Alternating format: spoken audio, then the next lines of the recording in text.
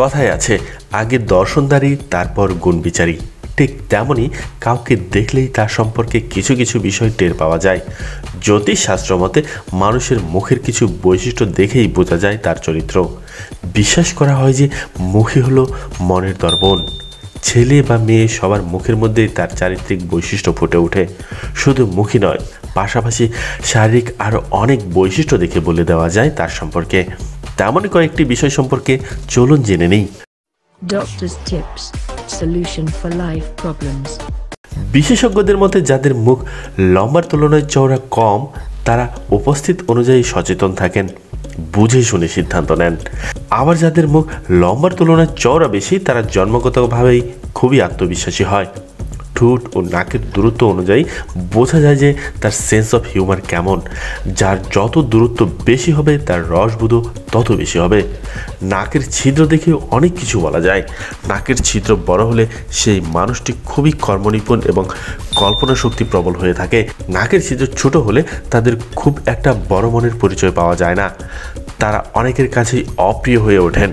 যাদের দাঁতের উপর দাঁত থাকে, তারা খুবই বুদ্ধিমান, ভাগ্যবান ও সৃজনশীল হয়ে থাকে। এমন মানুষ বিলাসিতার প্রতি বেশি আসক্ত হয়ে থাকেন। যদি কারও উপরের ঠোঁট বেশি মোটা হয়, তার কথা ও আচরণে তত বেশি ভদ্রতা এবং মহত্ব থাকে। যেসব মেয়েদের ব্রো চোখ থেকে যত বেশি উপরে থাকে, তার আত্মকেন্দ্রিকতা তত বেশি হয়। তিনি নিজের পছন্দ, অপছন্দকে বেশি গুরুত্ব দেন। আর দুই ভ্রুর মধ্যে দ্রুত যত বেশি থাকে, সহ্য ক্ষমতাও তত বেশি হয়। যেসব পুরুষের বুকে লোম বেশি থাকে, তাদের দাম্পত্য জীবন খুবই সুখকর হয়। পাশাপাশি এদের শক্তি ও বুদ্ধির জোরও খুব বেশি হয়। অন্যদিকে যাদের বুকে লোম কম থাকে, তারা বুদ্ধিমান হলেও স্বার্থপর স্বভাবের হয়ে থাকেন। চোখের মনির রং দেখে অনেক কিছু বোঝা যায়।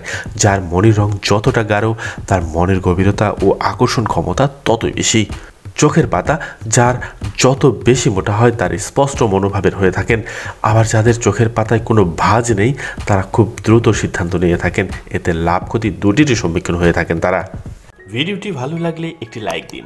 কারণ যত বেশি লাইক দেবেন, তত বেশি মানুষের কাছে আমাদের তথ্যগুলি পৌঁছে যাবে। আর হ্যাঁ এমন সব ভিডিও পেতে আমাদের চ্যানেলটি সাবস্ক্রাইব করে আমাদের সাথেই থাকুন।